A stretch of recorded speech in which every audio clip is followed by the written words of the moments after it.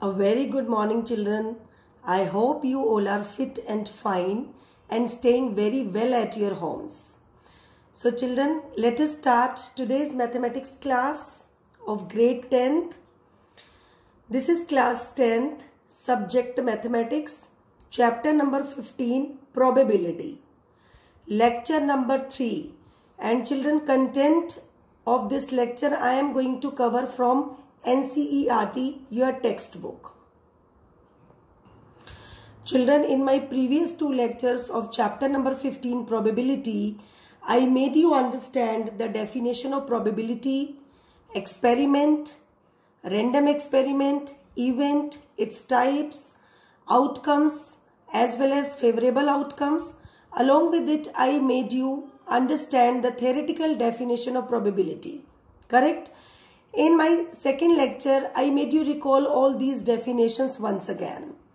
Now, I am going to continue with the recall of theoretical definition of probability that is nothing but the formula to calculate the probability of an event and along with it children I will be proceeding further with some situational problems from exercise 15.1 and 15.2 which contains HOTS questions.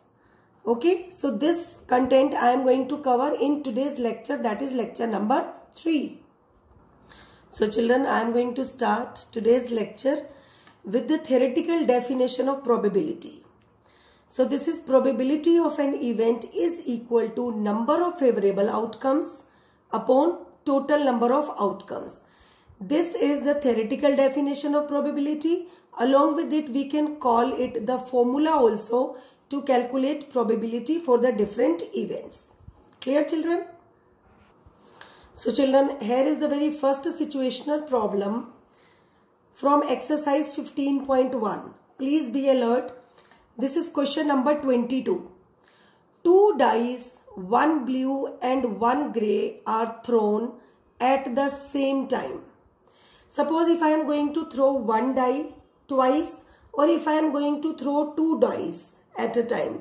This is one and the same thing. Okay. Then we have to complete the following table. Let us understand what is demanded in the table. What is the event demanding? Event says that I want sum on two dice.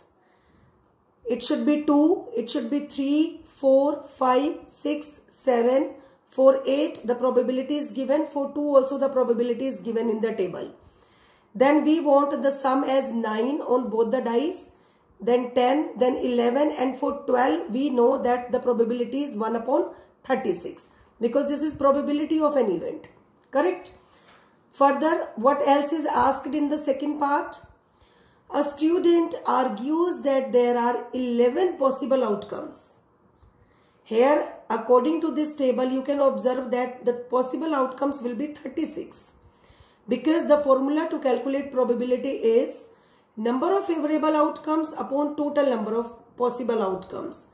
So possible outcomes should be 36 but one child is arguing that the outcomes should be 11. Which one? Starting from 2 going up to 12. Fine. So each of them has a probability 1 upon 11. Do you agree with this argument? You have to justify your answer. Fine. There are two parts related to this question. So let us have a look on its solution children. Children, whenever the sum is demanded, okay, two dice are thrown at a time and the sum or the product is demanded, then it is mandatory for every child to form a table first of all. Or children, we know that on each and every die, the six numbers are there starting from 1 goes up to 6. Okay. Sometimes the question comes in this way also that there are two specific dies with some different digits written on it. So we are supposed to use those very digits which will be given to us in the question. But suppose if there is no specification of the digits there, then you are supposed to use 1 to 6 digits. Okay. As per the demand of the question, it is said that the event says sum on two dice should be 2 or it should be 3, then 4, then 5. So for each case we have to take, take out, we have to find out the probability. Got it? So how to start such kind of questions? They are very important type. This is very important type. Please be alert. Total possible outcomes when two dice are thrown are 36. Now the question arises how? I am going to explain you it using table of sum. So for that children what you have to do in the very first row you have to write the digits which are written on the very first die that is 1, 2, 3, 4, 5 and 6 because no specification of the digits is there in the question. In the same manner vertically also in the very first column also I have to write 1 to 6. Okay. So let us start forming the possible outcomes. Then we will be dealing with the sum. So the possible outcomes will be, you have to take from here, this is 1 comma 1, then 1 comma 2, 1 comma 3, 1 comma 4, 1 comma 5 and 1 comma 6. What does it mean children? Suppose if I am going to throw one die. So I have got the digit 1 and after throwing the another die again I am going to get the digit 1. So what will be the very first possible outcome that is 1 comma 1. In the same manner when I threw the very first die I got 1 but while throwing the another die I got 2. So the possible outcome will become 1 comma 2. Got it? In the same manner children we are supposed to write down all the possible outcomes. So let us go for one more process. This will be the very first outcome will be 2 comma 1. Then it will be 2 comma 2, 2 comma 3, 2 comma 4, 2 comma 5, 2 comma 6 and so on. Let us talk about the last digit 6. It will be 6 comma 1, then 6 comma 2, 6 comma 3, 6 comma 4, 6 comma 5 and 6 comma 6. Sometimes the children used to ask this question, ma'am, is it essential to write down all 36 possible outcomes? So the answer is no. You can write down few initial one like 1 comma 1, 1 comma 2, 1 comma 3, 1 comma 4 and so on. Then some middle ones like 3 comma 1, 3 comma 2, 3 comma 3 and then so on. Then few outcomes you can write off last one that is 6 comma 3, 6 comma 4, 6 comma 5 and 6 comma 6. Got it? So children, they are total 36 in number. Fine. So now in the same table, I am going to explain you when the question comes related to addition, then what kind of table you are going to make. In that case, you are not supposed to write down these possible outcomes. Basically, this was the explanation part. So I have written all the possible outcomes also as well as their summation also. Okay. But when the table you are supposed to make based on the summation, then you will write like this. This is 1 plus 1, 2. 1 plus 2, 3. 1 plus 3, 4. Then 5, then 6, then 7. In the same manner, 2 plus 1, 3. 2 plus 2, 4. 2 plus 3, 5. 6, 7, 8. Okay. Then 3 plus 1 is 4. 3 plus 2 is 5. 3 plus 3 is 6 and so on. In the same manner, the last values will be 7, 8, 9, 10, 11 and of course 12. Got it children? Now the table is ready. Now we are going to give the answers of the questions which are asked in the events. What does the very first event says that the sum on both die should be 2. So can you tell me which possible outcomes you can pick? Because those possible outcomes will basically become our favorable outcomes. Correct? So i want the sum as 2 here you can see 2 can you find 2 somewhere else? No so this is only one favorable outcome. That is 2 that is 1 comma 1 out of how many? 36 so what will be the probability children? This is 1 upon 36 which is already given to us in the question. Got it? So we are not supposed to solve it. Now I am going to start solution with the sum on both the dice is equal to 3. So children, what will you write? You will write, let E1 be the event of getting the sum as 3. So now you are supposed to pick the favorable outcome from that table which are going to form sum as 3. So it will be 1 comma 2 and 2 comma 1. Let us have a look on the table. This is 1 comma 2 and 2 comma 1. No else is going to show the sum as 3. Only these two outcomes are showing the sum as 3. Got it? So how many will be the favorable outcomes? Of course, they will be 2 in number. So 2 upon 36 will become the probability of event E1. And the formula you know that number of favorable outcomes upon total number of outcomes. So the result will be 1 upon 18 after cancelling them. Got it children? Now in the same manner I am switching to the next part. Let E2 be the event of getting the sum as 4. So how many will be the favorable outcomes? Definitely there will be 3. Which one? 1 comma 3 because their sum is 4. 2 comma 2 they are forming sum 4 again and 3 comma 1. Fine. No other favorable outcome will be there other than these 3.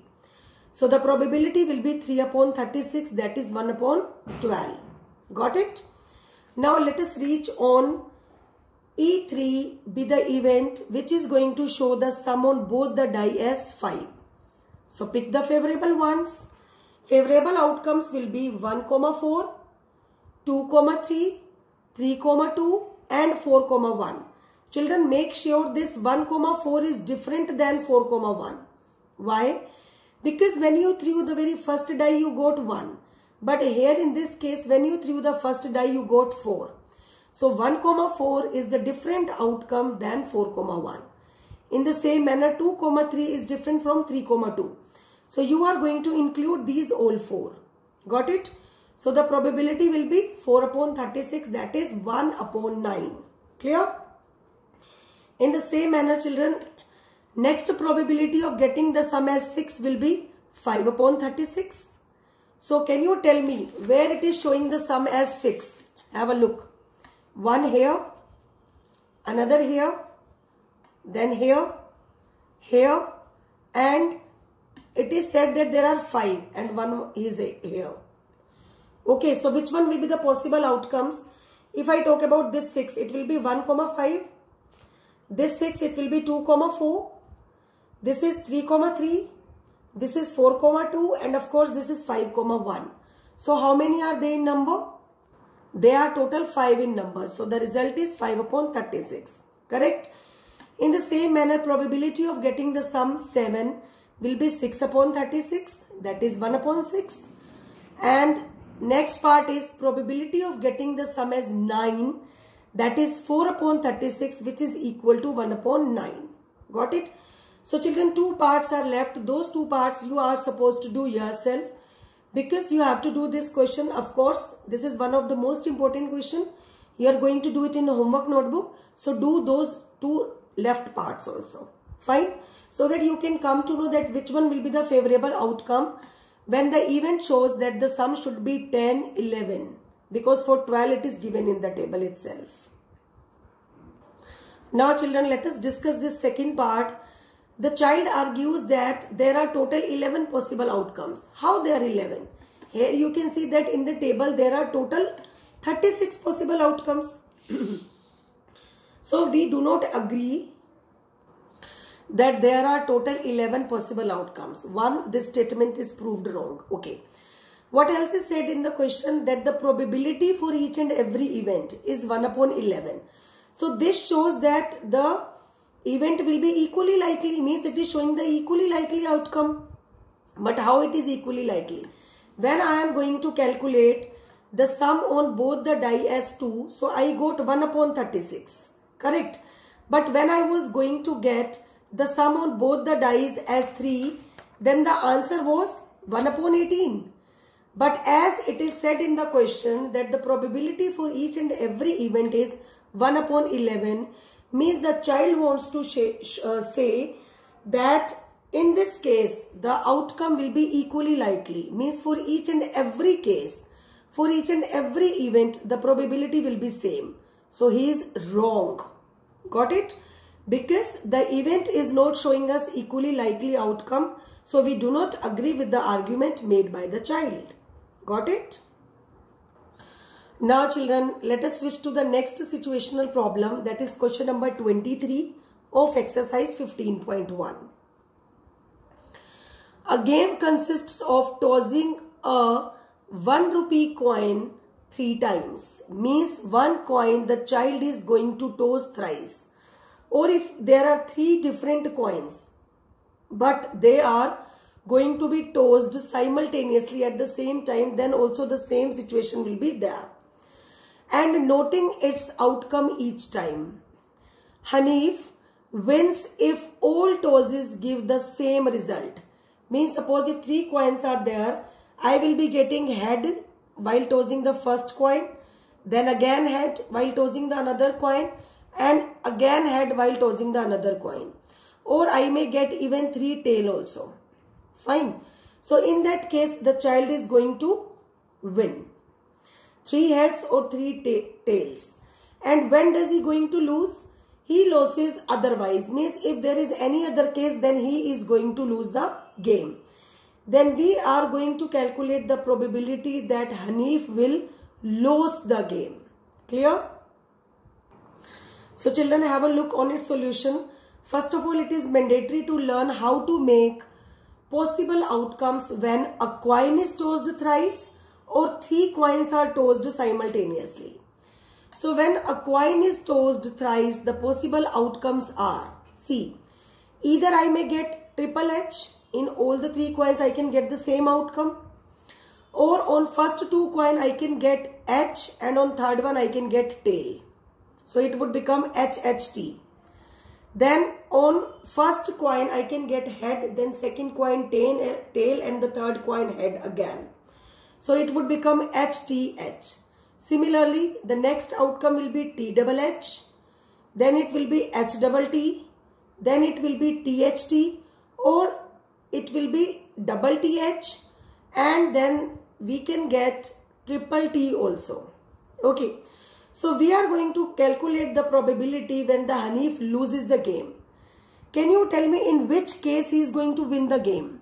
When he is getting triple H or triple T. So means these two I do not want because we are going to calculate the probability of losing the game, not of winning the game. Got it? So let E be the event that Hanif will lose the game. So the favorable outcomes will be, except these two, I am going to write rest all six outcomes because they are total 8 in number. Got it? So the probability of event is equal to number of favorable outcomes upon total number of outcomes that is 6 upon 8 is equal to 3 upon 4. So the question is finished.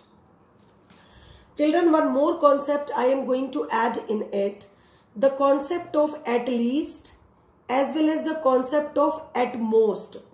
So on the basis of same question, I am going to explain you this while taking one example. When I am going to toes a coin thrice. So you know that the possible outcomes are 8 in number.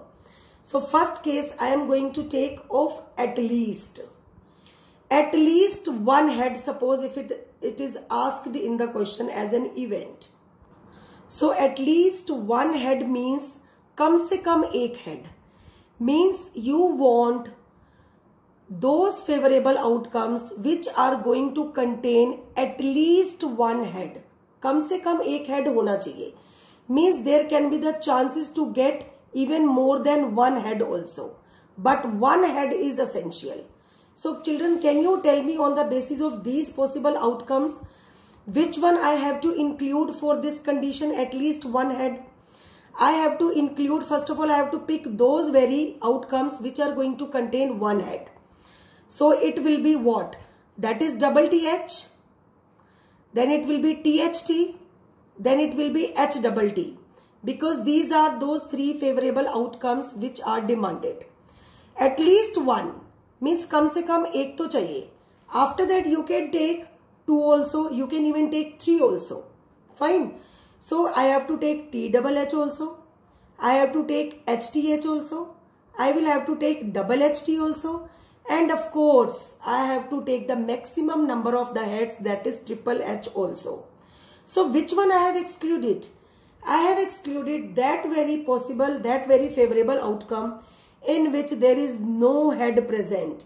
Means triple T will be the rejected one. Got it?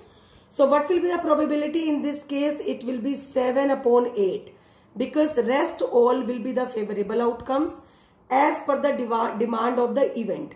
At least one head. Come se come ek head chahiye. Fine. And then after that you can take two heads also or you can take three heads also. Fine. Okay.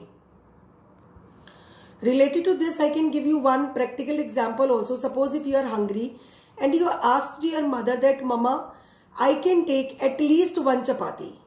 Okay, that depends on your appetite or your hungerness.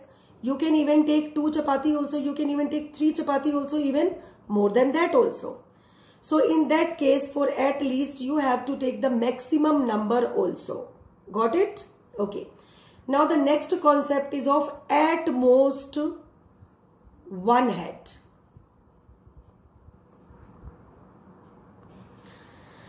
In this case, you are going to eat maximum means at most only one chapati. You can take even half chapati also. You can even take one fourth part also of the chapati. Suppose if your tummy is upset or you are not interested to have more on that very day. Okay? Or suppose the vegetable which your mama has cooked, you are not liking that vegetable.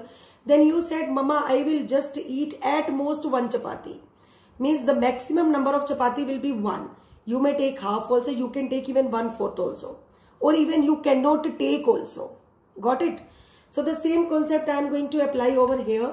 At most one head means zyada se zyada ek head mujhe chahiye.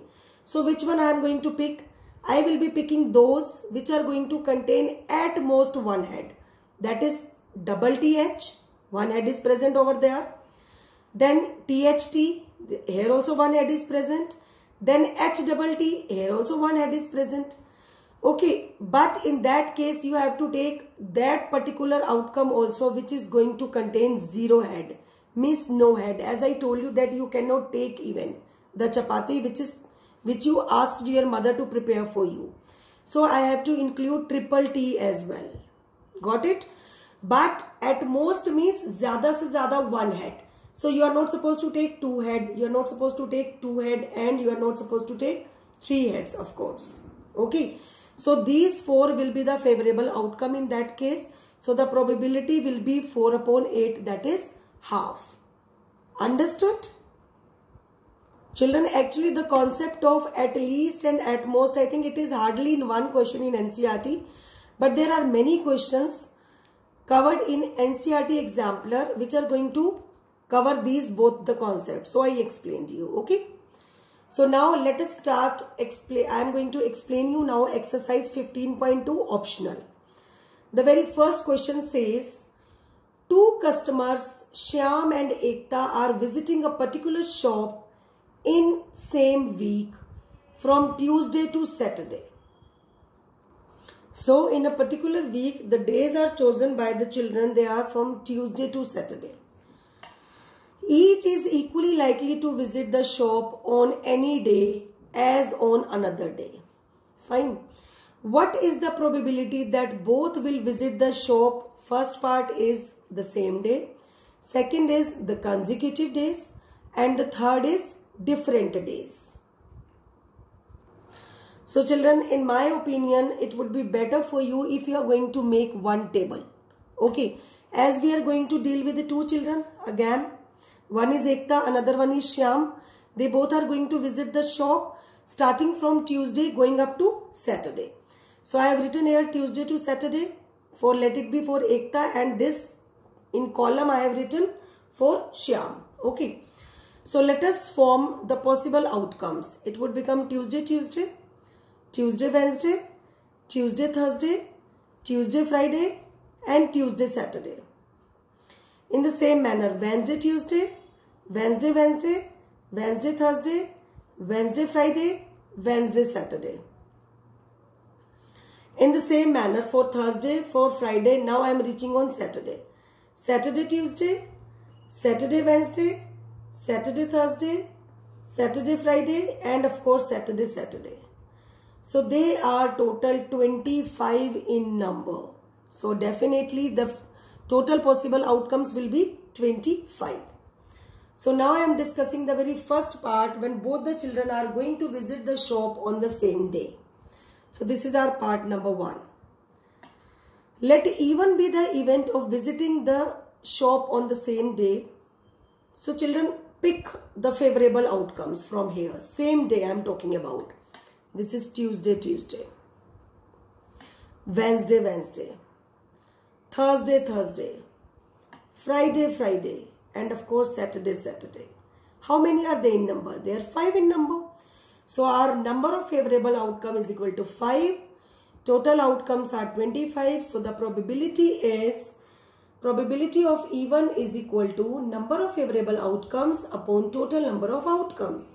That is 5 upon 25 is equal to 1 upon 5. Got it?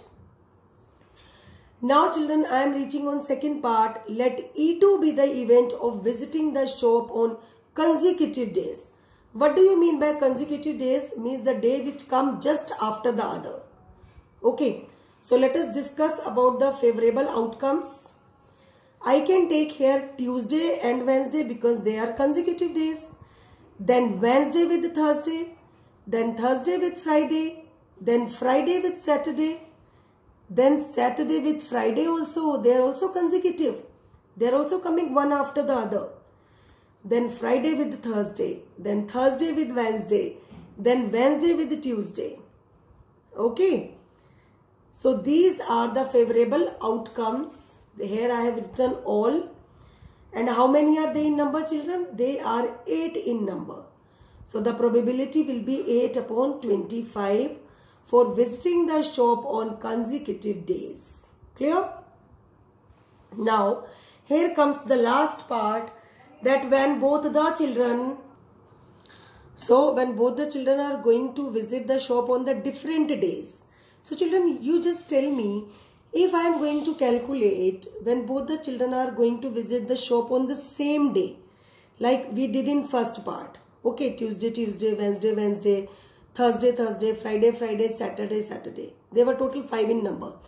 So after coming to know about the probability of this event, if I subtract it from 1, so will I not be able to calculate the probability when both the children are going to visit the shop on different days? Of course, this is nothing but the negation or the complement of the event. Correct? So the same strategy I have applied over here. Probability when both are going to visit the shop on different days. In complement, we have to include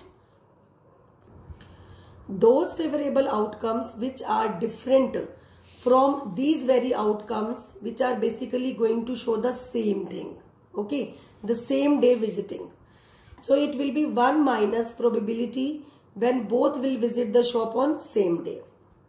It would be 1 minus we calculated in first part the probability when both the children are going to visit the shop on the same day that is 1 upon 5. So the probability when they are visiting the shop on different day is equal to 4 upon 5. Got it children? I hope whatever is explained today in this lecture you may have understood. Fine. Children, suppose if you will be having any doubt related to the lecture, so those doubts will be resolved in live classes. Okay. Now this is the time to get your mathematics homework. So children, here is your mathematics homework. In previous lecture, I gave you till question number 11 of 15.1. Now you have to do question 12, 15, 16, 17, 19, 21. 22 and 23 I have covered of exercise 15.1 in homework notebook along with the classwork questions. Classwork questions which I have covered they are 22, 23 and question number 1 from exercise 15.2 optional exercise. Fine children. So that's it for the day. Please like the video and do not forget to subscribe our channel. Thank you and have a nice day.